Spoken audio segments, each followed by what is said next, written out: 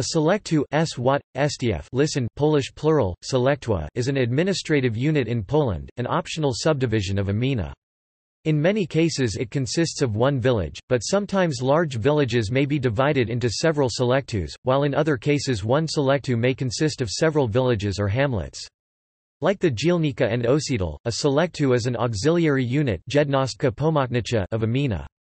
Only rural locations are assigned to sołectwos, while the comparable administrative unit in town is either dzielnica or osiedle. The elected head of a sołectwo is a sołtys both office and its name being derived from the German Schultheiss. In Polish villages the house of the current holder of that post is customarily marked with a red plaque bearing the word sołtys. The sołtys may be assisted by an elected sołectwo council Rada.